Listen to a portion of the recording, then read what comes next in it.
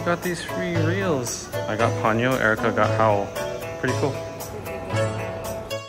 Excuse my slipshod recording indoors. We were not allowed to record too much indoors, but I got to deliver the content, you know what I'm saying? Don't report me.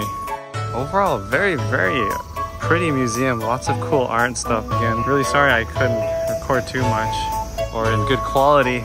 Snuck a lot of stuff, but it's been super cool to come here and see a lot of my childhood realized.